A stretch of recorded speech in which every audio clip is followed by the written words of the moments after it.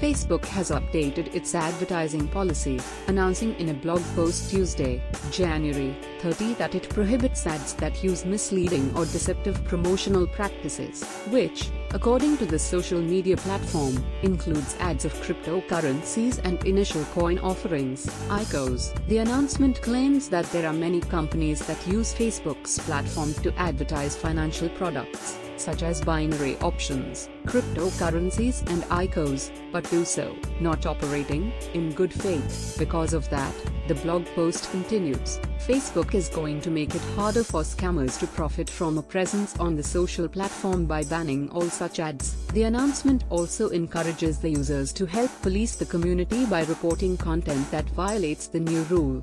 Two of our core advertising principles outline our belief that ads should be safe, and that we build for people first, said Facebook.